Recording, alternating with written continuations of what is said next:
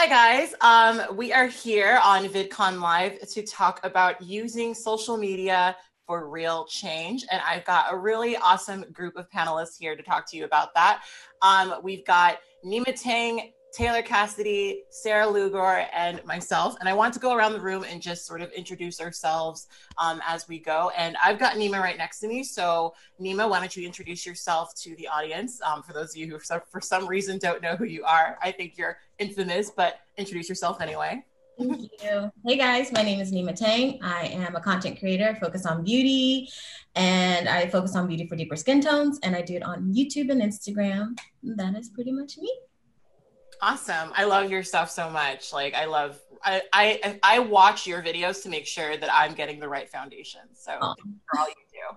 Um Taylor, let's go to you next.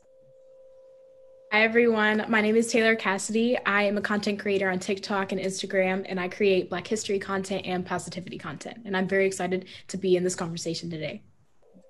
Thank you for being here. Um Sarah, let's go to you next. Hi, my name is Sarah Lugor, also known as Shreksdumpster. I make content, mainly comedy content, on Twitter and also on TikTok, of course. Yeah, I'm really excited to talk today. Yay! I'm so glad we were able to do this. Um, I wish that we were at physical VidCon, but I'm glad that we're all social distancing and you know staying safe and, and, and making sure that we can flatten this curve and everything. So thank you for those of you guys who are tuning in. We're going to be having a Q&A portion hopefully later on in this video. So if you're watching this live, please use the hashtag um, VC Now Social for Change um, on Twitter. So we're going to be going through those and trying to find questions um, later. So yeah. Um, so I wanted to start this conversation out by just asking people when they felt the responsibility to use their platform for change. Um, and we'll just go to whoever feels like talking first. um, so for me, I felt the need to start using my platform for change. I think it was around when I was like 25. I started pretty late in the makeup game, honestly.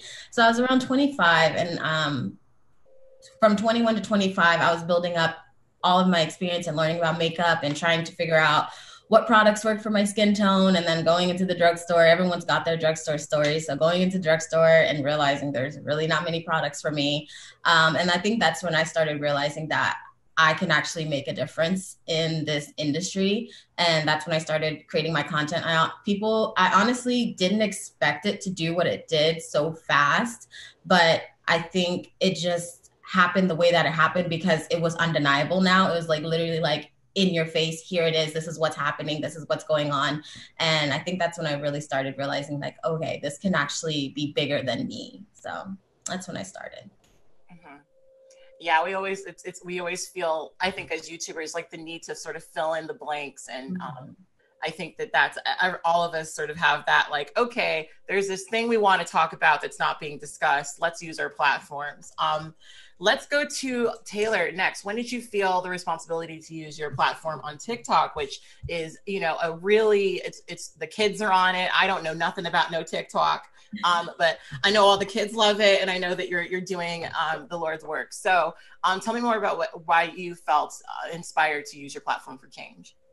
Yeah, so really it started whenever I was in class in my history class, and uh, just every time we would bring up any sort of aspect of Black history, like American history, um, I would always hear like comments about like you know, insensitive comments around Black history or just things that were very, very ignorant. And um, whenever I got on TikTok, I was like, I really want to educate people, but I want to do it in a way where they'll actually like listen and actually find it interesting. And so I felt a sense of responsibility because I didn't want people to keep on loving Black culture without knowing the context of it and where it came from, the pain as well as like the victory.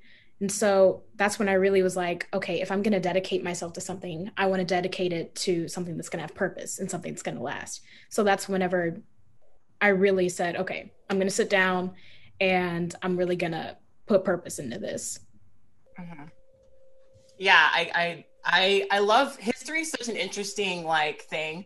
Um, one of the reasons why I do some of the stuff that I do is I, when I went to college, um, I took some some classes about racism and I was kind of shocked by like everything, like literally everything. I was like, I thought after Lincoln freed the slaves, everything was like cool, you know?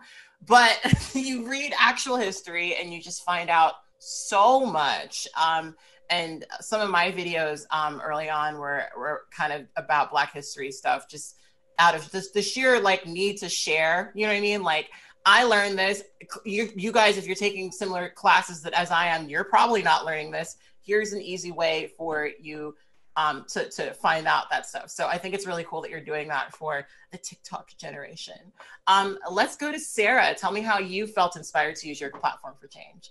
So like people love to politicize like black skin in general. So like I found myself talking about like political issues slash social like justice issues like without even realizing it. And a lot of the time it was like i would say something and then people would comment and be like oh my god thank you for bringing this into awareness. And then it's like oh i didn't even realize i was really doing that. And then so the more people that i realized were actually listening to me the more i was driven to like speak out about social change and stuff like that and like to talk about like issues that are going on and my personal experiences and also listen because like a large part of like learning is listening to others. So it was like a lot of just like consuming like a lot of like text and a lot of just like conversations with people and then also being like hey guys i learned this. Um, if you guys want to talk about it like we can talk about it but also like um, it's it's just like it's kind of like turning it into like almost uh, without even realizing you're doing it so yeah. It was it's it's been a good like um, kind of experience for me myself i think because like i've never been in a position of like uh, where you are so many people are looking at you and are looking at you to like almost idolization and are looking at you for information and stuff like that. So it's like been super important for me to be like completely updated and then also like well informed because you don't want to put out like incorrect information and then so yeah i've just it's been it's been good like it's been very like yeah good i would say is the best word i can say right now yeah, I, I totally I, I totally get that. It's funny. I started a YouTube channel when I was 15 years old. Um, I've been on YouTube. I'm turning 30 um next month, so at a, at a, at like in not too long, I can say I've been on YouTube. Early birthday! Thank you. Um, and you know, when I started my YouTube channel, I really just wanted to kind of like hang out and talk about my day, and you know, just the silly things you want to talk about when you're a teenager. Um, and I personally, I always, I think because of how uh, unique I am in the atmosphere of YouTube, um, I'm a trans woman who's been on YouTube for longer than most of the trans bloggers I know. Um, it, I feel this responsibility um, to to have some of these conversations because who else is, you know? Mm-hmm. Um, and I know for me, um, I always think about how much I I mean, I like talking about this stuff, but sometimes I just want to come on and talk about, you know, literally any other thing, you know. Um, and so I'm really curious um, how you guys have sort of dealt with that that sort of responsibility that that feeling of like, okay, I have to I want to talk about, you know, this the the newest silly, you know, something or other, but I feel like I need to have a conversation about, you know, what's going on because of what's going on and because of our platforms. Um, because I know something I'm personally dealing with now is, girl, I'm tired. You know, like I'm tired, and um, I wonder how we've all dealt with fatigue, um, and how much you guys have felt the the sort of pressure to talk about things even when you probably don't want to. So, um, yeah, I'm curious how you guys all have, have dealt with fatigue in these conversations. I think for me, it's something that I've actually talked to my therapist about recently, is because um, us as Black creators, we have this other entire side to us that we can't ignore and we can't hide. And unfortunately, we go through so much more things that we have to talk about. Um, that affect us in a different way. Like I can't, it's not just makeup to me, you know, it's not just applying a wing liner to me. It's about the fact that I have to fight for my beauty and I have to fight for the fact that my beauty exists. And it's so much more and it puts this extra weight on us. And we don't think we do not prioritize our mental health enough as black creators like i think it's hard enough being a creator just being in this uh, like platform where people are constantly looking at you and constantly looking for your opinions or your thoughts or what you think about something, even just like outside of what you actually do, the content that you actually create. So adding that extra pressure of now you have to speak on social issues because it's not just beauty or it's not just like whatever we all do. It's so much more. I think as black creators, we really, really have to find that fair balance. I think for the longest time I didn't have that balance. I always felt like I had to speak on everything, especially in when products were coming out and they weren't like inclusive. Now it's like, okay, well, if you don't want to be inclusive, I don't have to waste my energy on you this specific time. Yes, there's some products that I'm like, okay, I have to speak about this because I want to, but it's okay to kind of be like, right now, I need to do me for a sec. yeah it, it can be hard to find that balance for sure mm-hmm. I, I've, I've dealt i deal that all the time where i feel like there's a never ending there's never ending conversations that happen mm-hmm. about this stuff like these things are always happening and it's like you do at a certain point have to like measure all right is this worth my reaction is anything going to change if i say something you know mm-hmm. maybe some people just don't want you know black customers and that's just maybe what it is at this point um taylor i'm mm-hmm. curious how you've dealt with fatigue so really I deal with fatigue by like remembering that while, like you said, Nyma, we have this weight of having to uh, have the responsibility of talking about these social issues and really bringing to light and keeping the awareness up. And that gets really tiring because sometimes it feels like as a content creator, you're defined by the social issue when really you're not you're still yourself and so there's actually a quote that liza koshy said one time it said she said that don't put yourself in a box and be afraid to break out of it mm-hmm. and i really try to remember that whenever i get you know really fatigued whenever i feel like i have to do this i have to do that i have to deal with this first before i can break out and create something innovative that i can hit on that social issue but still remember myself yeah. so really I put down my phone and I take some time to really remember my mental health or remember that, while all of this is a really big responsibility. I still have to put me first because I can't give anything that I already don't have. Yeah. You know, I can't give somebody something that I don't have myself. It's not going to be genuine. It's not going to be real. So I take a lot of time uh, out of social media to remember that uh, this is really big, but it doesn't have to be all on my shoulders. Mm-hmm. that makes sense. Yeah. Yeah, totally. I, I remember I, will never forget I, it was like it was years ago and I was at um, Disneyland on my birthday and I this was back when I was like really sucked into Tumblr and I was having some like argument on Tumblr about something and I was literally at Disneyland clapping back at people while standing in the line like I was so consumed by mm-hmm. it um, and one of the things that was really helpful for me was to take a full year off of YouTube, just like to take a break, like to uh-huh. not feel like I needed to do anything. And of course, you know, there was that initial loss, you know, when you, I mean, I, I think we all have this relationship with our platform where we like, if we don't post regularly, you know, we might lose our mm-hmm. stuff. But you do sometimes have to weigh that like, okay, am I gonna take this break that I know is good for me, or am I gonna stress myself out unnecessarily. And, and I think people sometimes really underestimate the value of taking time for yourself, taking a break, and not feeling like you always have to say something and do something. Mm-hmm. Um, let's go to um, Sarah. Have you dealt with fatigue?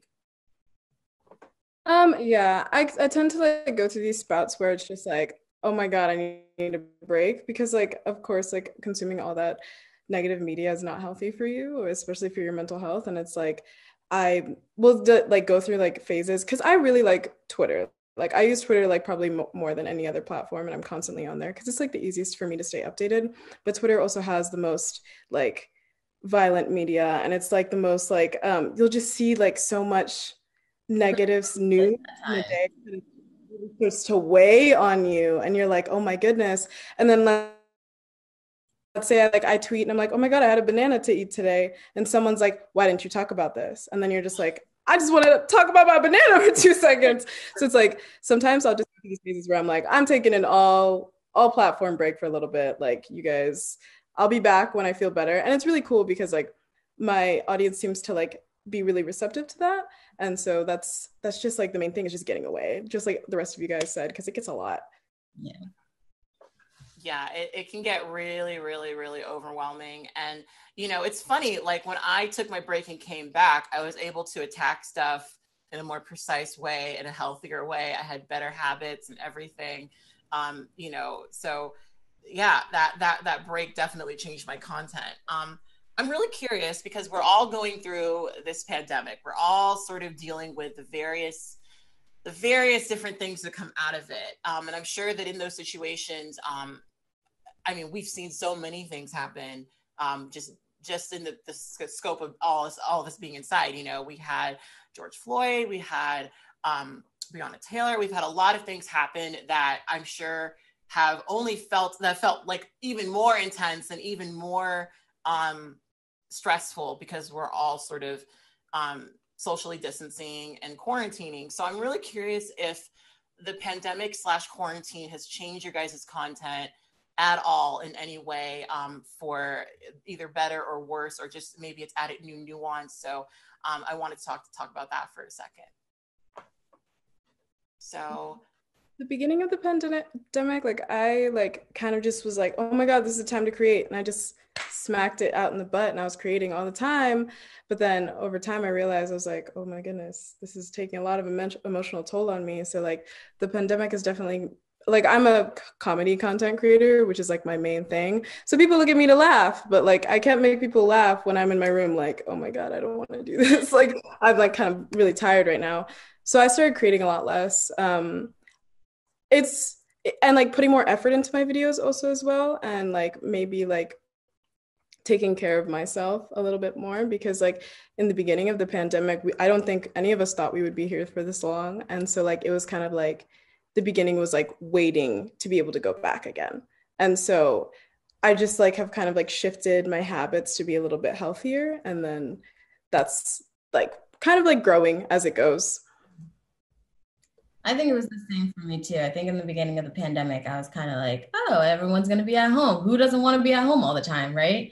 Um, but then as it went by and it kept going and extending, I was like, I need to get the hell up out of this house. Like, I was just like, I can't do this.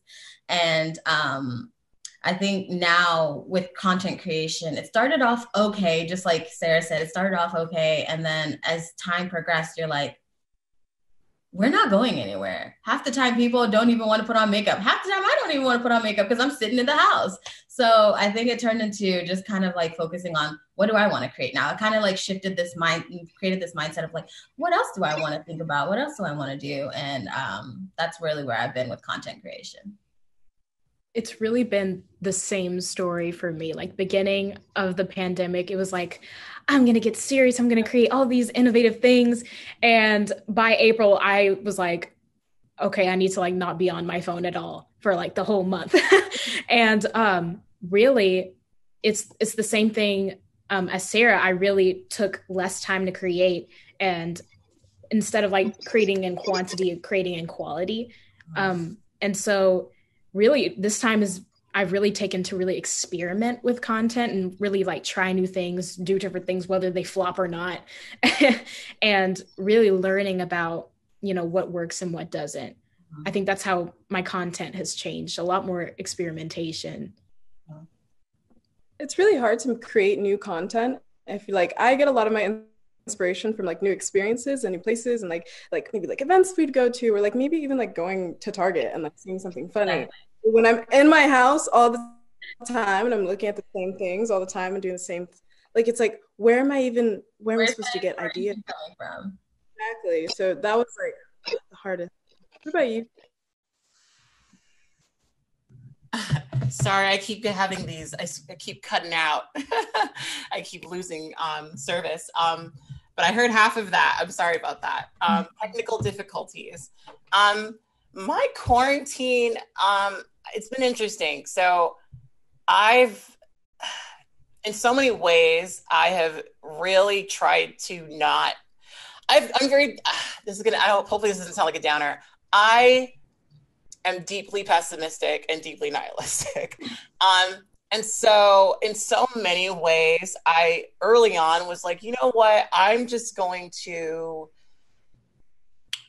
not let this stuff get to me as much as i know it's going to and i'm just going to focus 100% on my work and i'm just going to jump right in and focus and create things that make me happy um, because the kind of creator I was for years was I would talk about every single time an unarmed black person would get killed. I would talk about every single time, you know, we saw racism expre- expressed blaze, um, you know, blatantly.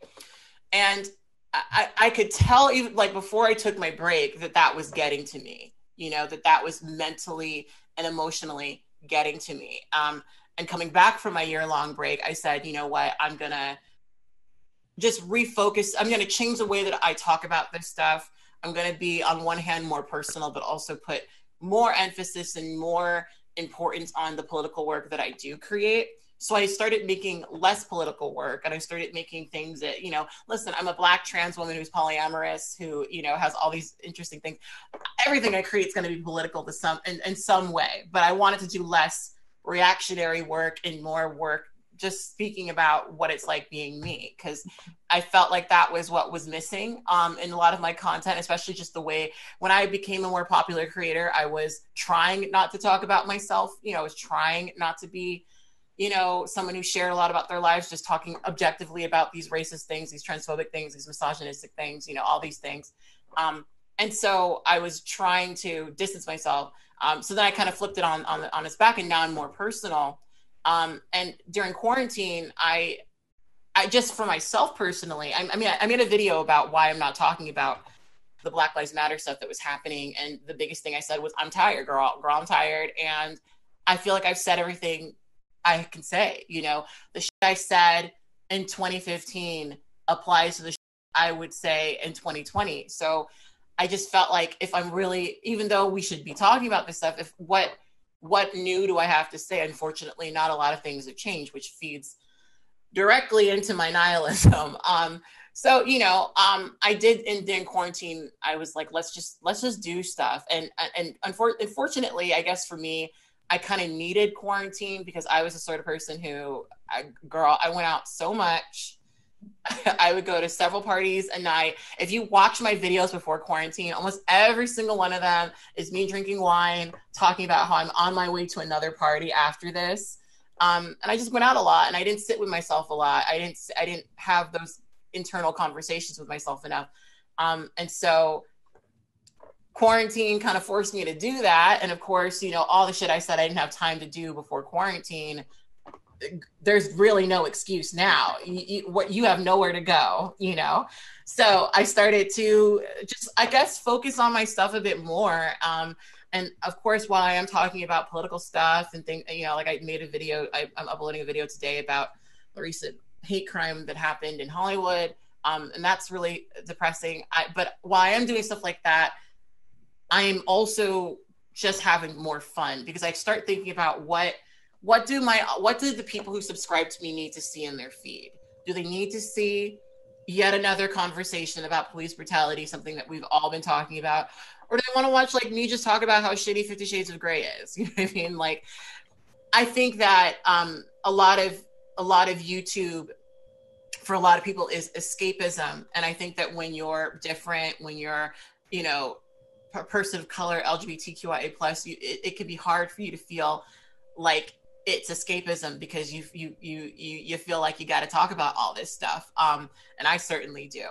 Um so one of the questions i wanted to ask you guys actually is if you didn't talk about all these things like if if let's just imagine a world where you know race wasn't a thing that we all had to discuss where you know police brutality wasn't always happening where shade ranges just were inclusive you know where we all got clear, concise Black history, like what kind of content would you create? Would it be similar or would it be different from what you're currently creating now? I'm really curious about that. That's difficult. Wow. I feel like eventually I would have fallen into this position because I've always been obsessed with fashion and beauty. So eventually I would have just like figured out a way to find myself right back where I am right now. Mm. I think I would also be in the same position because, like, even in, when I was in high school, I was a class clown. Like, everyone was like, "Oh my god, Sarah's like the the funny friend." So then I feel like I would still probably be here, just like not bringing in because again, they do politicize our lives. So like, even no matter what type of content we make, we just it's like another an an extra facet that we have to do it. So I feel like I'd probably just do the same, just a little less politicism. I think that's really interesting because I think that the core of my content is just like storytelling. So I think that I would find some way to tell some sort of stories. And that's, I think that question is really interesting because I think about a lot if racism did exist, would there be something like in its place? And I think about uh, this example a lot more than I probably should, but like hair color. Would hair color be like in its place, like the equivalent of racism toward people with brown hair? You know i think about that a lot and it's just something that's really interesting to me if racism didn't exist would there be something in place of that? Mm. yeah just want to throw that out there. Yeah. I feel like it's so natural for uh, people to like have there's something there's gonna be something you know? Like yeah maybe we don't talk about racism but you know but i don't like brunettes so it's something like that. I think that's really true. I'm sorry sarah you were about to say something i cut you off. Sorry about that. Oh, um, I was just saying, like, if we do get rid of, like, if, if hypothetically there was no racism, would we be like kind of like changing like human nature? Like, would we just be like, mm. like the perfect people and like apathetic? Because then, like, uh, well, not like apathetic to like other people's emotions, like completely empathetic to everyone and nice and kind. Like, would we even have content creation? Like, I'm just like, kind of, now I'm in a loop. I'm like, what what would we be doing? It's, it's I see a world where we're not held back then if there isn't racism. Like these creators that grow so much more than us or get so, get pushed further than us because we're held back because of our skin tone. Um, I see a world where it's an even playing field. And it's, so, it's just crazy to think like that's insane. Like racism is the basis of everything. Like it's kind of yeah. like now it's like how many different things are affected and how many like different ways our lives have like turned and twisted because of it. And so it's like to think back and goes back to the conversation of like how much pressure we how much added pressure we have on us as content creators because we right. have to about all that. Like me and my friends talk about this sometimes but how like black creators have to be above and beyond. So like another a white creator could do the same thing but we have to do it and also sing. And we also have to dance and well versed. We have to be funny and we have to do this well. And we have to be pretty. And like and that's just to like barely be at the same line. And it's yeah. Yeah. I, I actually kind of wanted to talk about that a little bit because um I know for me it's it's been kind of maddening to take up the space that I've personally taken up because when I first started making videos about politics, I was one of the only like lefty leaning people doing it. Like there were other people, but like there weren't a lot of us, especially a lot of people who were feminists, like o- openly, outwardly feminists. And I got a lot of shit for that. I got so much harassment, so much bullshit. Um, and, you know, oh, it, it never pushed me off the platform. You know, I've been, like I said, I've been doing this since I was 15 years old. It's a habit like if if I stop making YouTube videos, just assume that I've been replaced or something because it's just such a part of who I am, right? Um, but when I left and came back, it, there was a whole new breed of basically white YouTubers saying the exact same thing I was doing and not getting the degree of um, shit that I got. And that was hard for me to digest because we both had the same goals, we both had the same arguments, but and sometimes they were even talking about my experiences but for some reason when a white person says it they they take off in a, in a totally different way. So i'm i'm curious how you guys have sort of dealt with um, being black on youtube and sort of dealing with that sort of feeling of of you know knowing that you can work as hard as, as you as you do but you're you may never be as appreciated as a white creator. I'm curious how you guys have digested that feeling. If you have. into like more like maybe people aren't going to be as vocal about like supporting me. So like it might not seem like I'm being appreciated, but then like I'll check my DMs and like there's a bunch of like people. Like for me mainly right now it's about representation because like i think it's really cute that like i get dms all the time. They're like i've never seen a, a black content creator that's like also dark skinned and also makes funny videos and like also does this. It's like because like for me nyma was that person for me. Like i used to watch her youtube videos and be like like i i want that. So like for me i try to like expel the negative because i'm a really like perpetual overthinker. So i'm like just go for it because in the end of the day hopefully it'll pay off. And if it doesn't like you still know yourself that you did you did the most and you did what you could do. And if whether or not you get it you deserved it. So. Yeah. I agree. I think it is all about representation because whenever I first joined TikTok, Sarah, for you, it was me, or for me, it was you seeing, you know, this young black woman do like all these creative things and just like say like whatever comes to her mind and just make it comedic. I was like, wow, I didn't know I didn't know we could do this on this platform. And so um, whenever you see like other white creators do literally the exact same thing as black creators or even like completely copy them without credit because you see that a lot on TikTok. It is really disheartening, but it also goes to show how much power we have, you know, how much our voice impacts an entire community, even if the person that really takes it off didn't create it. So I think it really is about representation because if we weren't here, what would where would where would these platforms be? Mm-hmm. Yeah. And I think for me, um, I feel like it's so much more than me. So I feel like I never really think about it as in the world of like um, a white creator will take my messaging and like um, get more recognition for it because me the way that i see it is i'm fighting for black women's beauty to be represented and to be appreciated and accepted in the beauty industry so i honestly as long as i'm touching that one little black girl that's like I mean, oops, sorry. That's like, I'm beautiful too. My skin is beautiful too. And like, I can do everything that these billboards and these models and all these girls that don't have my skin tone, I can feel just as beautiful as they look. I think that's really what it is for me. So I've never really thought about it in a world of like, it is frustrating. Don't get me wrong. It is frustrating when you see someone completely rip off and fight. No one will fight for you and your story and your beauty better than you can. So I think that's really what always brings me back to center. And of course, all the DMs that I'm just like, they're like, I've never really felt as beautiful now as I do whenever you I see you doing this. I think those are like the ones that are just like, that's what I'm here for. That's what I'm doing. And that's that. Yeah. Like it's always harder to walk on a road that's never been paved on. So like it's like mm-hmm. I will accept it. And like those little messages, oh my God, the first time I ever got those messages, because like I have a hard time realizing that like I affect people. So like first time I got that message and they were like, oh my God, you're dark skinned, like you make me feel pretty. Or like people that post their pictures and they tag me and they're like, you make me feel pretty. And I'm like, good, like that's, that's what we want. So like I will accept the difficulties and like the, the extra challenges it might take for me to like as long as like those people can see that and be like I can do it or like I can at least try and she did it so it's yeah. I have a very similar feeling too. I mean, for me, um, I know, like I said earlier, that I'm just gonna keep doing YouTube because I this is me.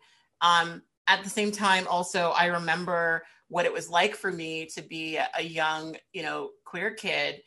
And I would close my eyes and try to like envision a future for myself.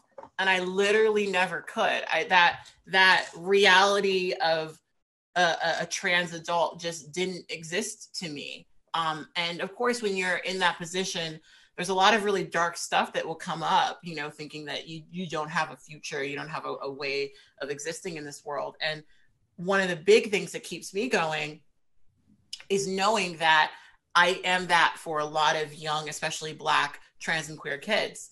Um, they can look at me and see someone you know who you know i think i'm a hot ass mess but you know i come off as i guess together and they appreciate that and they can see themselves in me and suddenly that teenager who at one point closed their their you know eyes and literally couldn't imagine any future for themselves can look at me and see well Kat's doing fine Um, and and and I know that like, see for me, I just look. I started YouTube 2005. YouTube was a very different platform.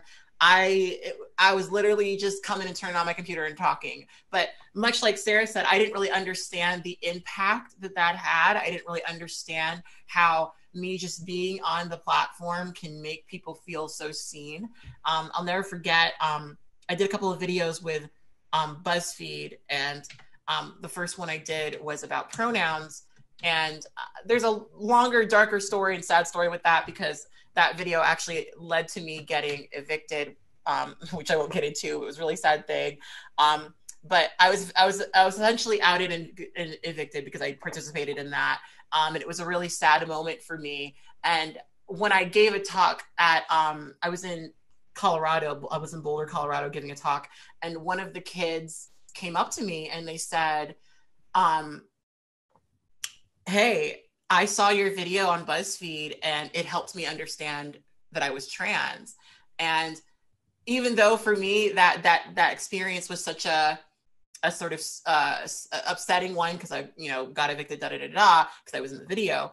Um, I realized in that moment how important it was for me to continue to be there, you know, to, for that so that other kids can see themselves. So I definitely I I definitely love that each of us are are that that for somebody, you know, and that's definitely something that keeps me on on there. So yeah, so now um we're gonna go through some of the um the audience questions. We've got 20 more minutes. We're at the 40 minute mark. So I'm just reading through some of these and seeing some that fit in. Um, how do you handle stress going on in the world? I, I think that's a that's a good one. How do you guys handle stress? What do you guys do to like like keep yourselves like not stressed out. Um personally i sew i sew most of my clothes and sewing is one of the biggest things. After later today i'm, I'm washing my hair and i'm going to braid my tonight and that's one of the most therapeutic things i do is literally just sitting down watching netflix and just braiding all my hair. So i'm curious what you guys do to relieve stress I learned how to crochet, so now I crochet. I know I saw you crocheting in our um in our uh, rehearsal, and I was like, oh my god, that's so cute. Yeah, I I realized that's like a really good like I'm I overthink a lot, and so like when I see like stressful things, I'll like think about it for a long time. So then like when you're crocheting, you have to pay attention to your pattern. Mm-hmm. Like it does become mindless, but like you so like it's nice to like it's like a brain empty, no thoughts. it's a good thing to do. Do you do Buddhas in the back too? Oh yes. Oh my god. My mom makes them. your mom? I know. They're so cute. I was like i haven't seen them in so long. You have so many. I should send you some. You have so many. See i wish i knew how to cornrow because i don't know how to braid my own like like flat braid my own hair and i would do crochet if i could but i've tried and i just i've just decided it's not in it it's just not in me you know so. I can't watch movies and do my nails and color that's mm. like my escape. Cause like when you watch movies, you kind of have to focus on it, and it kind of movies are like designed to take you into this whole other world. So it's just kind of like right here, right now, and that's it. Mm-hmm. Yeah. I really got into painting this pandemic. Wow, this quarantine that just made me sad for a second. But um, I really got into like printing out portraits of like my friends and like sitting down with like a little mini canvas and just painting for like four hours straight and I will, you know, put away my phone and just get out like these teeny little mini brushes and just like paint all the details. And it's like, it's mindless, like Sarah said, for your crocheting, but you still have to pay attention to detail. And um, Kat, I actually was heavy in sewing last year too. So I understand just the hum of the sewing machine and, you know, so yeah, that's what I've been doing to really relieve stress. Yeah it's it's really helpful to take yourself away from from stuff. Like like literally all the things i described they forced me to like not be in front of my computer. I can't be on camera. You know i'm sewing and creating. So yeah i love i love that we're all creative in our our, our stress our stressless time. Mm-hmm. um but um, I'm really curious how you guys all feel about YouTube currently, um, how you feel the platform is doing, and if it's um, you still see it as a way of enacting change. Because um, I know for some creators, um, YouTube has felt antagonistic towards them, and I'm curious how a lot of you guys personally feel about the platform right now. I personally, I don't think I've ever had a more positive relationship with YouTube. Um, whenever they've invited me to um, talk to them, I would usually read them for filth and tell them what's wrong. And I don't, I was like, I don't know why you guys keep inviting me because I'm just going to yell at you. Um, but for the first time in a while, I have not really had a lot of issues with YouTube, and I think they're doing a pretty good job. So I'm, I'm curious um, how you guys all currently feel about the platform. Um, I feel like it's hard for me because I'm still like in the world of YouTube, I'm still technically a newbie. Um, because I've been on the platform for going on four years now, and I feel like people have been on the platform for like way longer, like you, like yourself. So um, I've only seen what people would say are the newer changes, and that's just kind of my normal. So I'm not really sure how to like compare it to back then, like ten years ago or something like that. So. I don't know much about YouTube because I'm not on the in the YouTube world, but I know that um yeah. but I know that on TikTok, TikTok is full of about every voice that you can find. Really, I've learned so much about different cultures that I would have never known if they had not gone on TikTok because it's really an open place for every kind of culture, every kind of like perspective to come on and like tell their own story or tell what's happening in their country in their world. So that's really what's made TikTok such a active place for uh different perspectives.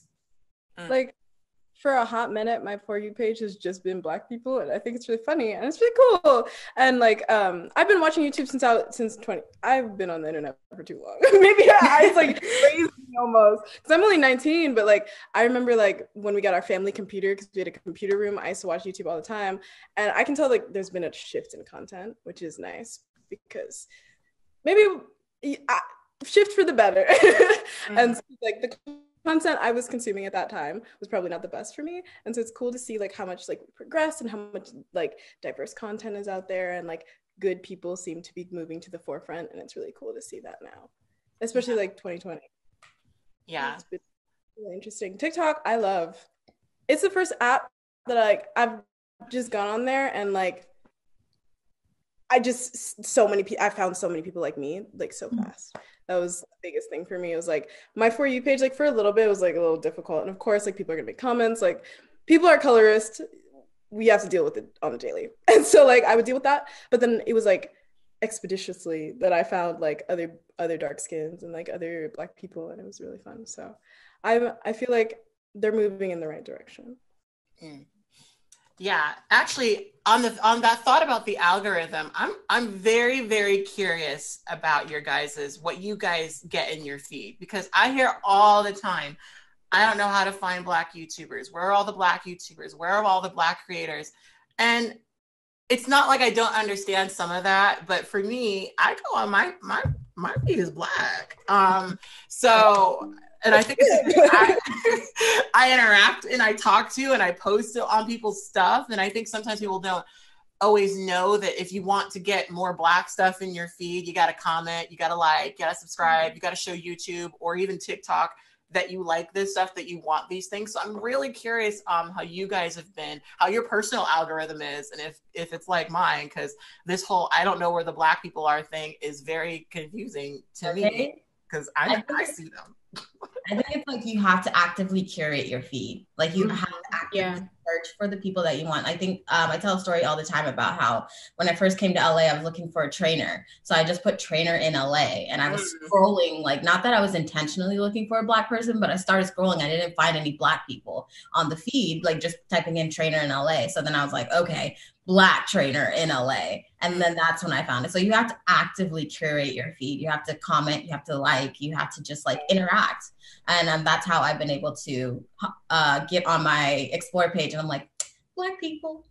yeah, because like for my YouTube, I was right before I got in here, I was watching Tunerfic Tariq, which is like he's a black animator. He's like he's really cool. And then like I have D'Angelo Wallace. Like my entire like recommended recommended is all black people, and that's the same for like my for you page. I think it's just because we interact so much, and those are the people that like we tend to talk to and relate to about more. And so like at first, yeah, I kind of get it. Like there weren't that many black people, but also like the more we see each other, the more we want to join platforms. So I feel like there's more in general now. Yeah. Yeah. I think that uh, what you said, Nyma, about like curating your platform. Do you ever, um, you know, go on Pinterest or wherever if you're looking for like a hairstyle or something, you type in braid, and then you have to search again and type in black woman braids Yeah. every time for like whatever. I think it's the same exact thing. Um, you have to, especially on TikTok, you have to be in those comment sections, share, watch like all the way through whenever you find a black creator, so that they'll show up again and show up again and again. And um, yeah, that's that's what I do. A lot of times I do type in black aesthetic or you know uh, things that are very very niche so that I get them in my FYP. Yeah, I think some people just they need to know that you need to do that. Like I remember um, Jackie went on a, a rant about this recently, which I loved because there we're there, you know, and and if you interact with our stuff, you will find more. If you're somebody who's saying, "Oh, why is it my feed more black?" It's probably because you're not interacting with those those channels. Um, so we are getting closer and closer to the end. Um, I wanted to ask this question. It's one of the audience questions, and I think it's a really good one. Um, how do you guys define success? What does success on YouTube or TikTok or where, wherever? What does that What does that look like for you? Because I know it's all, it's probably all different for all of us. Um, I I was kind of I don't know because like my whole life I've kind of like I was supposed to do like the buy the books things. So supposed to go to I've completed uh, ah, I've completed high school, going to university for computer software engineering. I was supposed to work a nine to five. That didn't end up happening. I'm kind of glad, very happy that it didn't do that because I'm like doing stuff that I enjoy. But like success, I guess, means consistency and like joy in what you do. I'm kind of like kind of torn because like if success is like being good all the time, then like is life really good that good? I don't know. Like you need to go down before you go up. So like if you're consistently going up, isn't it scarier for you to go down? So I, I don't know. Maybe consistency. That's my answer. I I I feel like maybe because it's like I'm just a little bit older, I'm okay with my definition of success changing as mm-hmm. life goes on. Like my definition of success three years ago when I started my YouTube channel was a million subscribers. Now my definition of success is how am I really changing and impacting? You know, it's okay for success to change and it's okay for success to mean different things in different parts of your life. Like success for my personal life is fixing and making sure my anxiety and depression days are less than they are, you know. But success for my financial life is whatever that dollar amount number is, and that's okay. And I think it's okay to have that like it's okay to have that relationship with success where it can mean different things in different aspects of your life. I feel like uh, not having a set definition of success is really interesting because um, an idol of mine really is Maya Angelou because she was never ever one thing throughout her life. Like we know her as a poet, but she was she was all these different things throughout her life, and I think that we can learn from her that success is really growing no matter what, not staying in one place. So, like, if I'm here five years from now, I wouldn't say that's a success. I want to grow. I want to keep on growing and elevating. And so, success to me is Nyma, what you said, making that impact and making sure that you're bettering yourself so that you can better things around you. Yeah, success for me has been um I don't know, like it's changed a lot. It's definitely changed a lot. Like I used to be all sad that I didn't have a ton of subscribers and you know sometimes I still feel sad about that, but that's never really been important to me. I've always been the kind of person who likes to be better than what I was before. So like every one of my videos, I like to think that I'm upping the game just by doing something new and different. And if I manage to get something together and, and, and get it up and, you know, if 100 people watch it or, or 100,000 people watch it, to me, that's success. You know, I just love doing this. I love creating um, video for the internet. Um, and I just, I think it's really wild that I get to do it for a living, that it's what I do full time now. You know, it's, it's, it's funny how that, that works out. Um, so yeah, um, on that note, we are in the last seven minutes and I wanted to ask you guys where you guys think you're going to be next year and, and, and, and what sort of thing would you like to see in the next year? I know 2020 has put us through it but I would like to think I would, you know what? I don't maybe this is me being too optimistic, the occasional moment where I'm being optimistic. I would like to think that 2021 is gonna be, you know, like a little bit better. I want 2021 to give black people a break. I think we're tired and yes. a break. Yes. Yes. 2021, I just want it to be uh better managing of like mental health and prioritizing myself, but also, yeah, that break we were talking about, that'd be nice. 2021, the break, definitely. and um I think I wanna have like a plan. Like whenever we're out of this, I want to be like, okay, let's go. You know, I'm ready now. You know what I mean? yeah. yeah, I mean, oh, go on. Oh, I'm so new to this and like this whole like content creation and like online like platform and stuff. It's like I feel so much pressure to be like moving quickly and to like mm-hmm. progress yeah. quickly and also like develop quickly. And I, I'm like, I barely like I'm trying to figure out a plan right now. Like mm-hmm. at least to go loosely off of. I don't really follow plans well, but like I like to have a little bit of direction. I can give something the same way.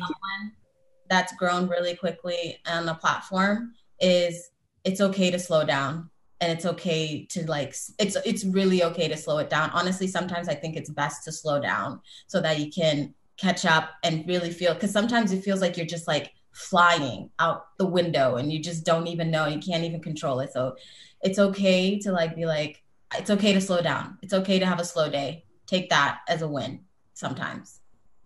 Thank you. Thank you. Um, all right. Oh, I'm sorry. Also, you guys have been so knowledgeable. like, right. It's nice I feel to like talk to people that have been on. It's nice. Yeah, I really, really enjoyed this conversation and, and, valued everybody's input. You guys are giving me a lot to think about, a lot to talk about. We are going to be continuing this discussion on the VidCon Discord server.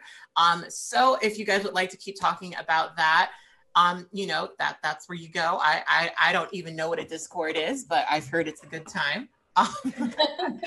um, but um, thank you everybody for coming and joining us here. I think we're going um, to end this as we get closer and closer to two o'clock.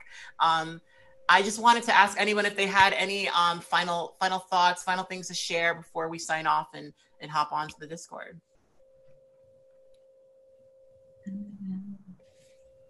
I don't know. I mean, thank you for putting on here. Thank you for watching. I mean, like, that's been cool listening to us. Um, yeah, this is definitely different. I think this is my first Zoom panel that I've ever been on. So. Yeah, that's my first one too. I, I thank you so much. thank you guys all so much for coming. Um, and yeah, I guess we're gonna end this here then. Thank you so much. We'll talk to you guys on Discord. Bye.